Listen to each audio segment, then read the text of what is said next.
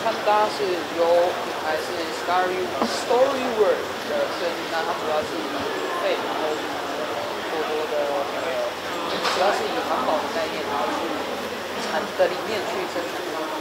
然后其实牛仔风衬衫我身上很多，那裤子的话是 Ray 设计师，那他有设计，由他设计。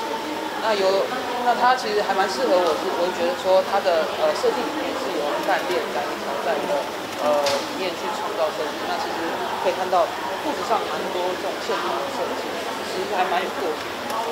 就有点像。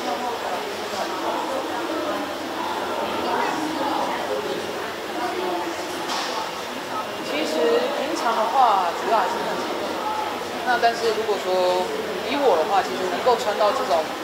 呃，这种时尚的风格啊，或者是一些大衣，毕竟你知道台湾的天气没有那么的合适，那其实很难得能够有机会可以穿到像比如说大衣、风衣、外套，然后长靴子这样的风格穿搭风格，就是对于我来说还蛮新鲜的一个体验。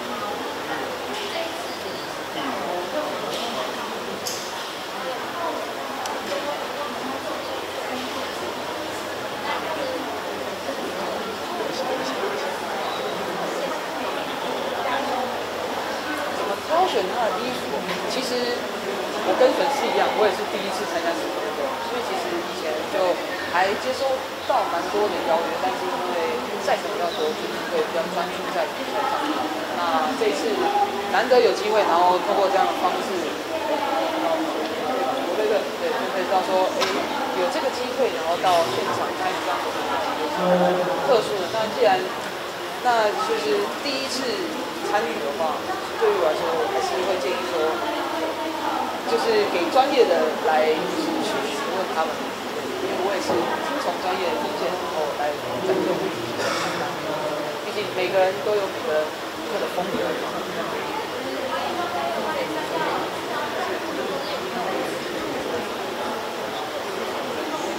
有哎，其实这次比完赛之后嘛，就是因就是聚餐的人场合。比较多，所以就吃的比较多。那我为了这一次的时装周，回去国训中心马上去控，就是训练啊。第一次，第一次控制体重不是为了比赛，而是为了就是参与这样的时尚活动，为了为了让自己的体态更加好看。我也想要看有没有机会可以媲美一下 model 的那种状态跟身材。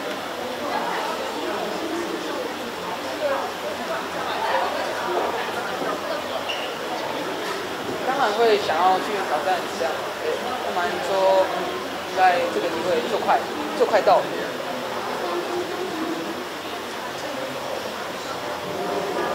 会耶，其实还蛮紧张的。那当然就是服装的方面也是特别请，这也不能直接请公布吧？对，我们也是有特别请大师，初制大师之手帮我去量身打造我这样的呃穿搭。这不好说，就要看就是各位粉丝或者是广大朋友买不买单了。